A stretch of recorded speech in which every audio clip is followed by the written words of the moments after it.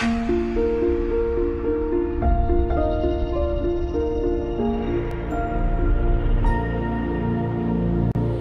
hey, hey, hey, Laura here with Two Hoosier Hikers.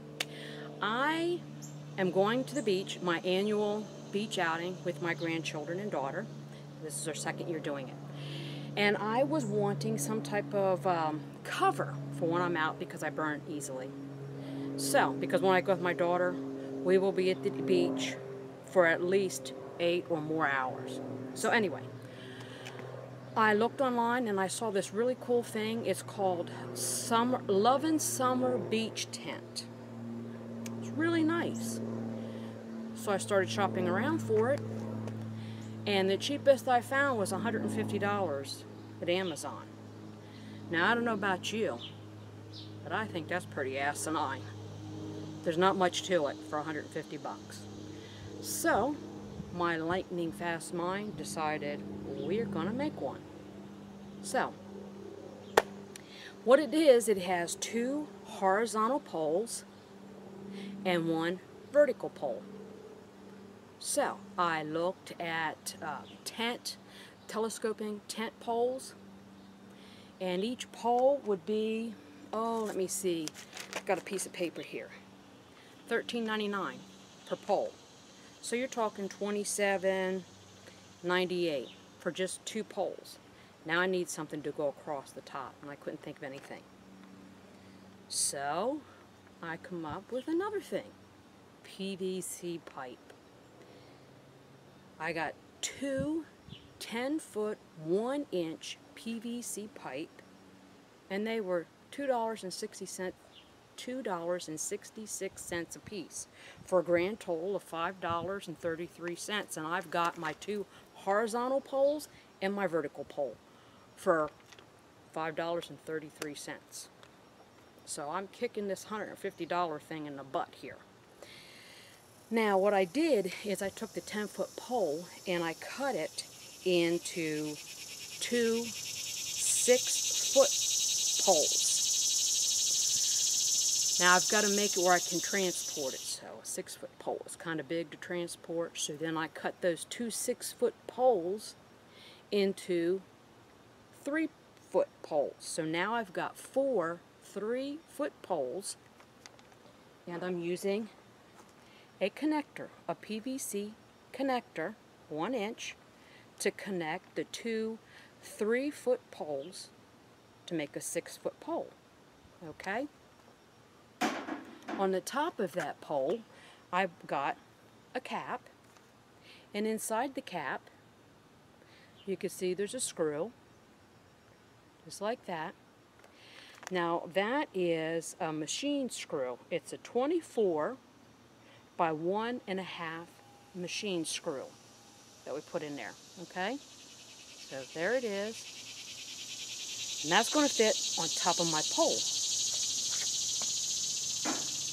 Now, with my 10 foot pole that I cut into a 6 foot, I had 4 foot left over. So I had two 4 foot sections. I got the heat gun, Mark's heat gun, and I heated up the end of the pole and I used some clamps to flatten it out. And once that was um, dry, drilled, I don't know if you can see it, a hole in it. So now my four foot, two four foot pieces, again, will be connected with another connector. So I bought three of these connectors. One for each vertical and one for the horizontal. So, and once I get the top up, this will be on the top of my vertical pole. And here goes my horizontal pole right there. So, now I'm going to put it together. And hopefully I measured everything right. Now, for here at the house, I don't have sand, so I'm just going to use pegs.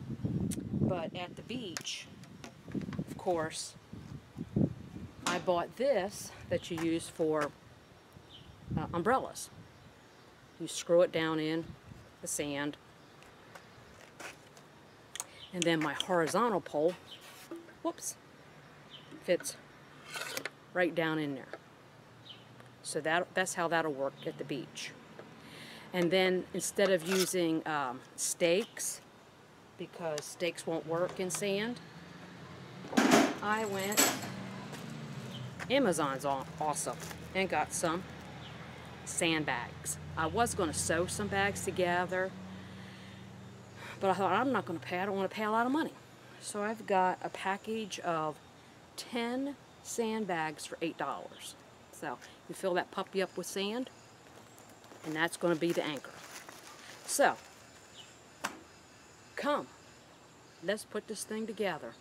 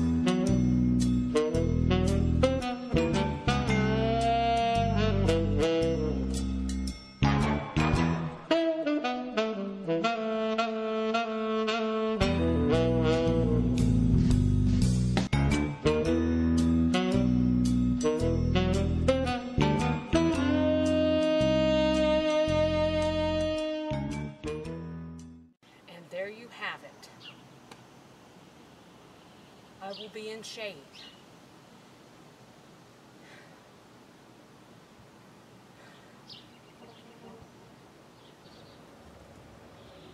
This is the view with it done. I just stuck a chair out there. Um, I did not make this tight, but you know, hey. I could tighten that up, tweak it.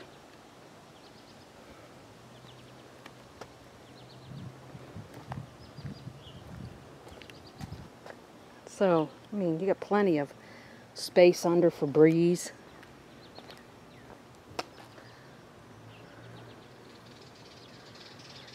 So I am happy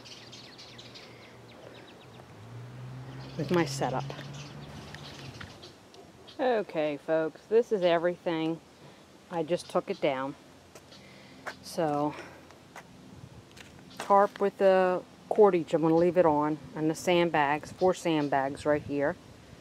And then all of my, uh, believe it or not, that's just two 10-foot PVC pipes.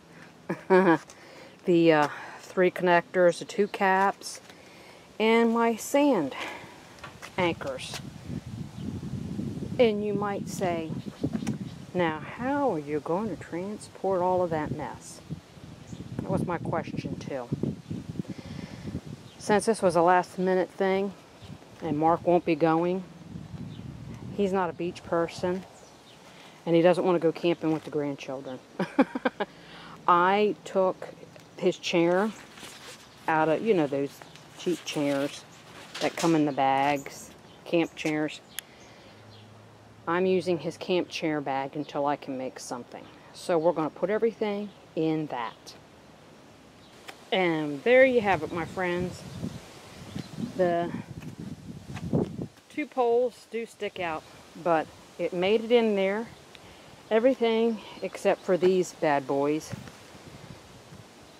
And I finished just in time. We are getting some clouds. And honest to God, this must have been the hottest day of the year. 92 degrees and the humidity has got to be 100%.